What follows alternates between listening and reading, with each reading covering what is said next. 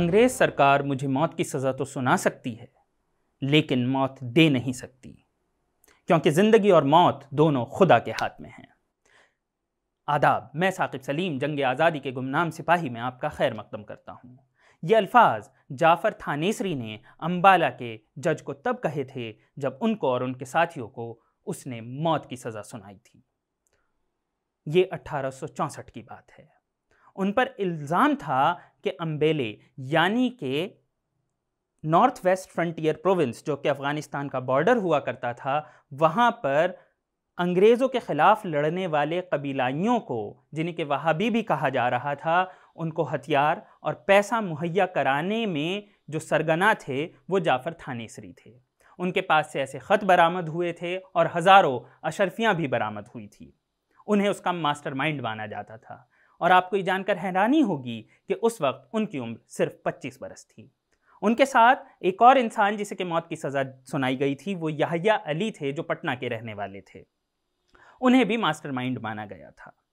उसके बाद जब अंग्रेज़ों ने ये देखा कि मौत की सज़ा पाने पर ये तीन लोग, याहिया अली, मोहम्मद शफ़ी और जाफ़र थानेसरी परेशान नहीं हैं, ये तो खुशी मना रहे हैं। तो वो अचंभे में आ गए। उन्होंने उनसे पूछा कि ऐसा क्या है जो तुम खुशी मना रहे हो? तुम मरने वाले हो। उन्होंने जवाब दिया कि हम देश के लिए शहीद होने जा रहे हैं। आप समझते हैं कितनी खुशी की बात है। तब अंग्रेज़ी सरकार के कान खड़े हो गए। उन्होंने कहा कि हम इनको ये खुशी नहीं दे सकते। उन्होंने उनकी मौत की सज़ा हटाकर उन्हें काले पानी भेज दिया।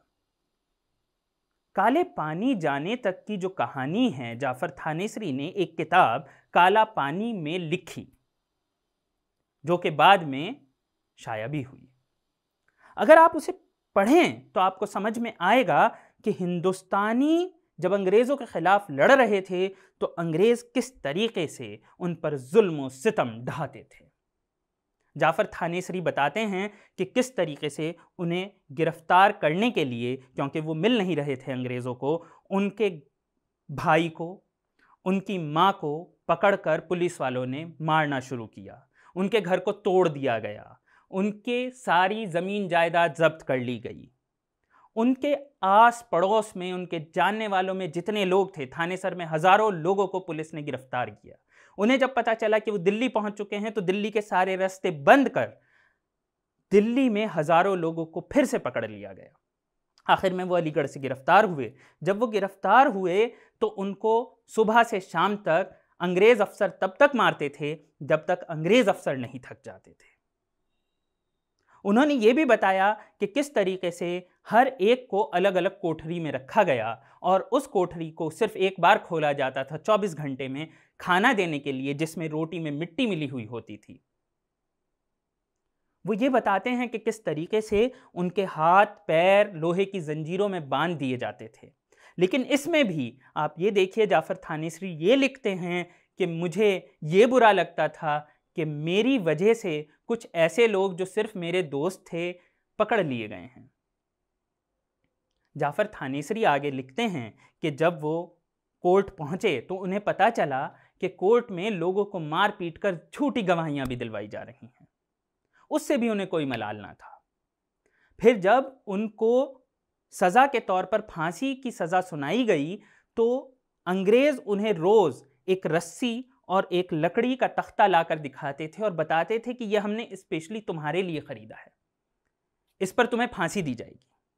और वो कहते थे, फांसी अगर होनी होगी तो हो जाएगी। ये तो खुशी की बात है कि मैं शहीद हो जाऊँगा।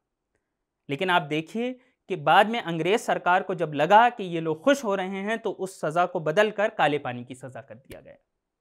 काले पानी के लिए उन्हें अंबाला से लाहौर पैदल ले जाया गया। उनके हाथों और पैरों में बेड़ियाँ थी और उन्हें कहा गया, तुम पैदल चलोगे। ये काफिला जिसमें कि ग्यारह लोग मौजूद थे, ये लोग अंबाले से लाहौर पहुँचे। लाहौर में इन्हें जेल में रखा गया, इनकी फिर से पिटाई की गई और वहाँ पर इनके पैरों को दूर दूर रखने के लिए एक लोहे की सलाख भी लगा दी गई। वहाँ से इन लोगों को मवेशी की तरह ट्रेन में भर दिया गया, जिस ट्रेन को कराची ले जाया गया।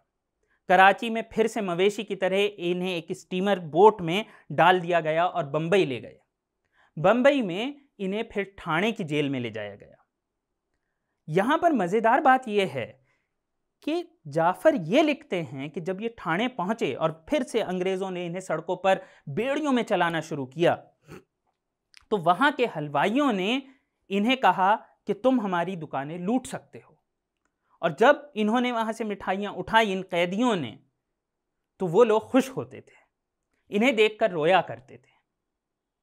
क्योंकि वो खुद आज़ादी की जंग में हिस्सा नहीं ले रहे थे, लेकिन आज़ादी की जंग के जो सिपाही थे, उनके लिए एक मोहब्बत थी।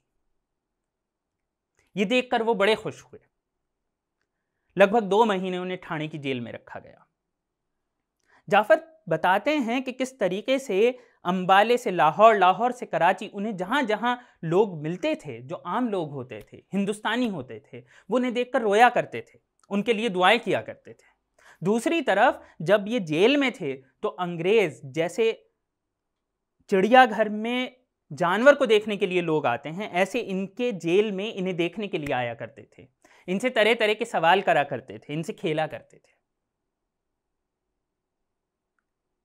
फिर इनको बंबई से एक शिप में बैठाया गया और ले जाया गया काला पानी, यानी कि अंडमान।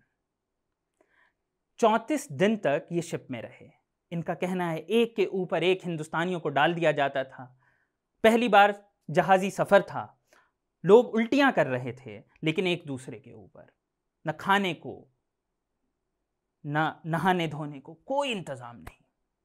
ऐसी हालत में ये लोग जब काले पानी पहुँचे चौंतीस दिन बाद तो ये जानकर जाफ़र अचंभे में आ गए कि वहाँ पर दूर से लोग इकट्ठा हैं और वो आवाज़ लगा रहे हैं, क्या जाफ़र और याहिया इसी शिप से आ रहे हैं?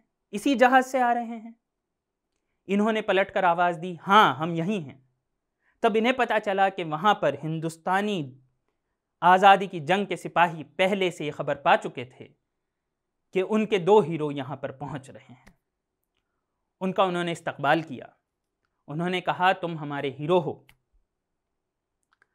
और इसी के साथ वो काले पानी की सज़ा काटने लगे। वो वहाँ कई साल रहे और उसके बाद 1880 में उन्हें छोड़ दिया गया। वो हिंदुस्तान वापस आ गए। जहाँ पर कि उन्होंने अपनी ये सारी जो उनके साथ चीज़ें हुई, जो उनका एक्सपीरियंस था, उसे लिखा, उसे कलमबंद किया और काला पानी नाम की किताब लिखी। आज हम बहुत कुछ याद करते हैं। हम बहुत सी किताबें पढ़ते हैं, लेकिन हम ऐसी किताबें जिसमें जंग आज़ादी के सिपाहियों ने उनके साथ क्या हुआ, उन्होंने जंग की, उन्होंने आज़ादी की जंग कैसे लड़ी ये सब बताया है हम उन किताबों को ही नहीं पढ़ते। शुक्रिया।